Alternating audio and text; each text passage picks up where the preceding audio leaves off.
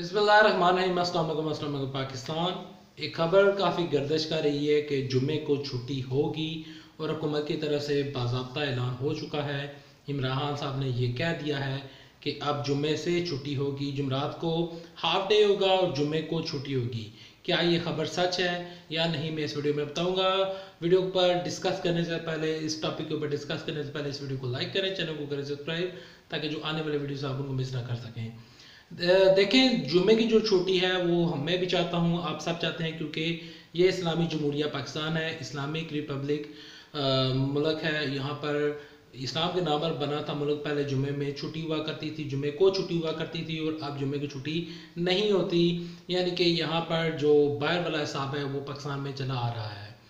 جتنی بھی خبریں جا رہی ہیں کہ جمعے کو چھٹی ہوگی اور جمعرات کو ہاف ڈے ہوگا، وہ ساری خبریں بے بنیاد ہیں۔ عمران خان صاحب نے ابھی تک صرف صرف مشورہ مانگا ہے امپلیمنٹ نہیں ہوا۔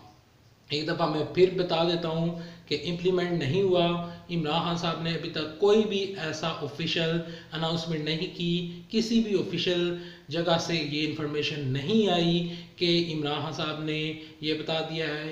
یعنی کہ صرف اور صرف سوشل میڈیا کے اوپر کچھ فیک پوسٹ چل رہی ہیں۔ صرف اور صرف اپنے پیج کے اوپر لائکس بنانے کے لیے شیئر بنانے کے لیے، تاکہ وہ پیج لائک اور شیئر کے لیے انہوں نے وہ فیک پوسٹ بنائی ہے۔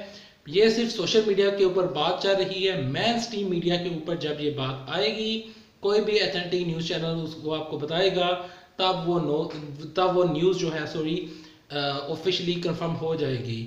یا پھر عمران خان صاحب کی جو آفیشیل ویب سائٹ ہے، جو کہ گورنمنٹ کی ٹویٹر اکاؤنٹس ہیں، یا آفیشلی جو ویب سائٹس ہیں، وہاں پر یہ اس نوٹیفکیشن کا باقاعدہ طور پر اطلاع کیا جائے گا، تب آپ کو جمعے کو چھٹی ہوا کرے گی۔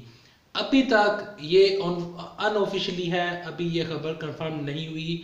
تو اس خبر کے اوپر، اس ایسی خبروں کے اوپر دھیان مت دیں۔ یہ فیک نیوز ہے۔